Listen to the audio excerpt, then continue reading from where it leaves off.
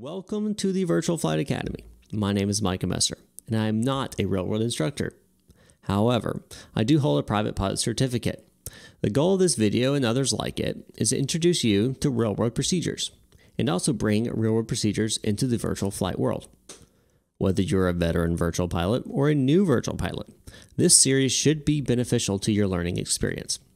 Before we begin, understand you should not use any of the techniques I'm about to teach you in the real world.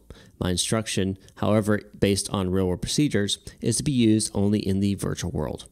I am not a registered certified flight instructor and cannot teach you procedures for the real world as required by the FAA. Lastly, some procedures will vary and or be abbreviated from real world procedures as necessary for the virtual flight world. Also, techniques I teach you may not be the same as others uh, or what you may have learned in real life. There are variations to certain techniques to achieve certain goals while flying. Anyway, let's get up into the sky.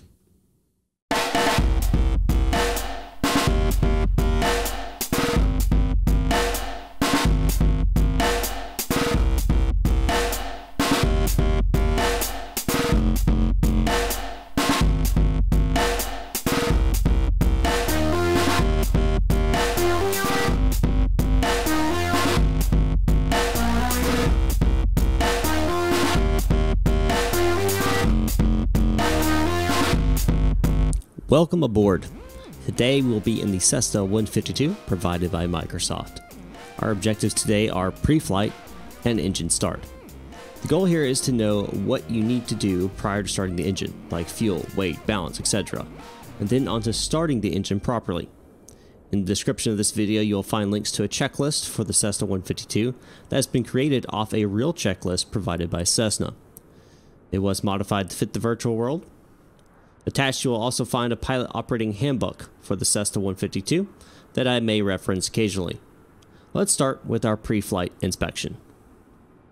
To start a pre-flight inspection, the first thing we'll do is we'll want to make sure the ignition switch is in the off position.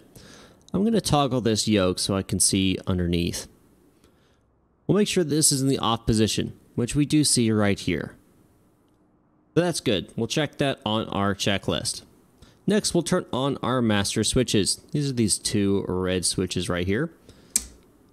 Both come on, and we'll see that we have our avionics turn on, our OBIs turn on, and our fuel gauges turn on as well. We want to check our fuel quantity. Right now, it looks like we have half a tank in both tanks, which should be fine for what we're planning to do here. Next, we want to make sure our fuel shutoff valve is in the on position. Look down here, we'll see that we have that sitting between our two seats. I want to flip it to the on position as indicated here. Then we'll turn our master switch back off. Next in our pre-flight inspection, we're going to check our freedom of movement along our ailerons, elevator, rudders, and engine controls. Now this is going to be done virtually to make sure that all of our bindings are correct. We're going to make sure that our yoke is correctly set up and that our throttle quadrant is also correctly set up. Depending on what you're using, this will vary slightly. So we'll start off by checking our ailerons. On the left side, what we're going to look at is when we go to the left, we should see the aileron go up. And when we turn to the right, the aileron go down. When we look at our right wing, is going to be the reverse. When we turn to the left, we want to see it go down.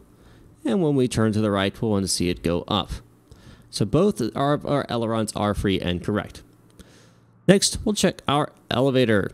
Thankfully, in the Cessna 152, we have this large window in the back. We're going to just turn around and look at it. When we go up, we should see the elevator also go up. When we go down, we should see the elevator go down. And with the rudder, we should see when we go left, it go left. And when we go right, it goes right. So our ailerons, elevator, and rudder controls are all free and correct. Next, we'll want to check our engine controls. Depending on the throttle quadrant you're using or whatever you're using for your throttle, this will vary slightly. For me, I'm using a Honeycomb Bravo throttle quadrant, really nice throttle quadrant. But what I'm going to do is make sure that our axes are correctly set. Throttle, I want to make sure when I go full in, it goes full in. When I come all the way back out, it comes all the way back out. Make sure when I go full in, it goes full in. When I come all the way out, it comes all the way out. We're going to check our flaps, even though we're off, which means they will not articulate because the Cessna 152 has electronic flaps. I want to make sure it indicates as it does appropriately. That's what we want to see prior to actually moving on. We'll continue on our checklist to the before starting engine section. We have completed our pre-flight inspection.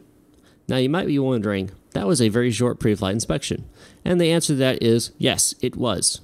Because in the real life, we would spend approximately 15 to 20 minutes on the outside of the aircraft checking fuel levels, making sure there's no buckling in the airframe, checking the brakes, disc, disc brakes uh, levels, we're checking the tire pressure, oil uh, levels, uh, how dirty the oil is, we're checking the propeller for any dents, scratches, etc.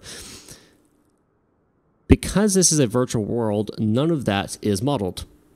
So there is no need to go that deep into the pre-flight inspection. So if you're a real world pilot and you're watching this going, you skipped a lot of steps. Well, yes, I did because you can't actually check these things. Just like the pitot tube, I can't check the pitot tube to see if it's stopped up.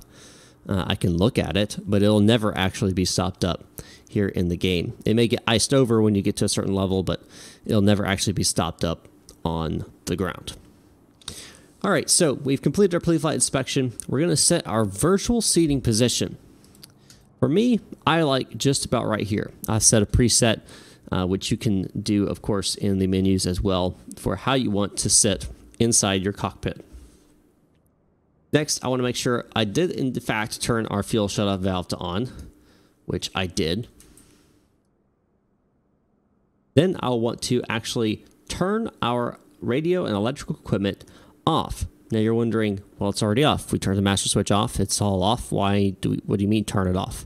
If we actually look at our electrical or radios, any type of navigational, you'll notice that there are off buttons on the actual radios themselves. For these COM1 and COM2, you'll notice we actually have a little dial here and it has a little off position. So we actually want to turn this all the way to the off position. We also want to make sure our transponder is in the off position. This is the only electrical things here, or avionics, so to speak, radios, communications, here inside of the Cessna 152. So now that we've done that, we can move on to the next step, checking our brakes. Now, we're not actually checking them as we're taxing, which we will do later. What we're actually doing is making sure, again, that our controls are set appropriately. So if I release the parking brake, what I want to make sure is that my left toe brake activates my left toe brake, right toe brake is my right toe brake. Left and right is appropriate as we've already checked. So we can see both go in, both come out. That's what we want to see. Then I'll turn the parking brake back on.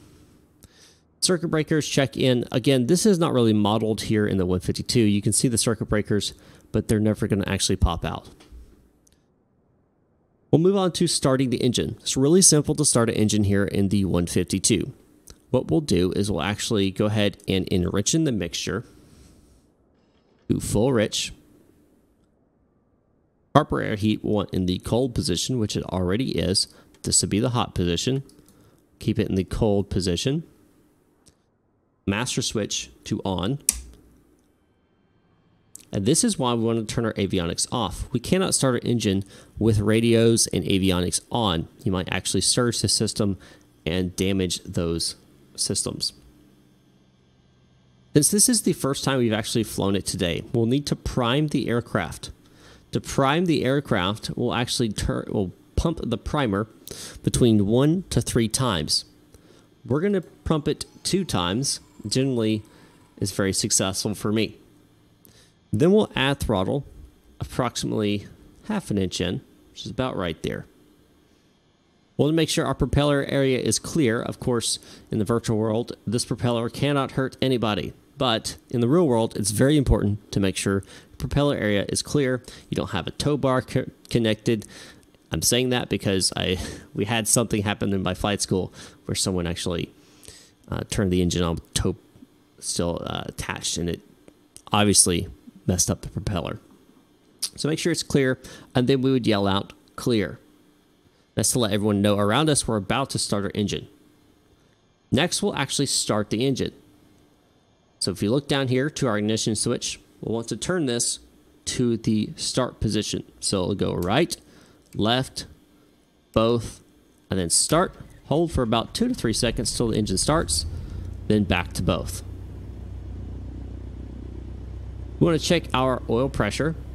We want to make sure it's not below the red or above the red. And we're sitting here right at the edge of the green. That's a good position to be at. Check our RPMs. Anywhere between 800 to 1000 RPMs is a good starting position for your uh, RPMs. So we'll leave it as is right here at just about a thousand. Last thing we want to do here is want to turn on our beacon. Turn on our beacon is simply this switch right here. We'll switch it to the on position. Next, we could go ahead and turn our avionics back on.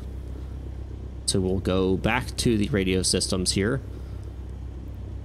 and turn these on by just turning the volume up. I'm using my mouse wheel to do it. And then we'll want to turn our transponder to on as well. And that's it. We have now officially pre-flighted and started the aircraft. Next, what we will do, we'll do a pre-taxi checklist, and then we'll taxi, we'll take off, and we'll show you guys the pattern. That all will be in another episode of the Virtual Flight Academy. Of course, if you guys have any questions, feel free to ask them in the comments down below or head onto the Discord, which the link is down in the description, and ask them in the help chat there. Me or one of our mentors will get with you and try to help you as best as we can. I want to thank everybody for watching. If you guys are interested in a little bit more in detail depth of what all these instruments are, how they work, and different aspects of actually flying, I am going to be working on a ground virtual academy that will be really be releasing to my patrons only. You're interested in that, let me know in the comments down below, and I'll uh, be sure to add that to the list of videos to do. Anyway, I hope I have informed you in some way, and I look forward to episode 2, which will be releasing in about a week. Thanks for watching, guys, and I'll see you guys next time up in the sky.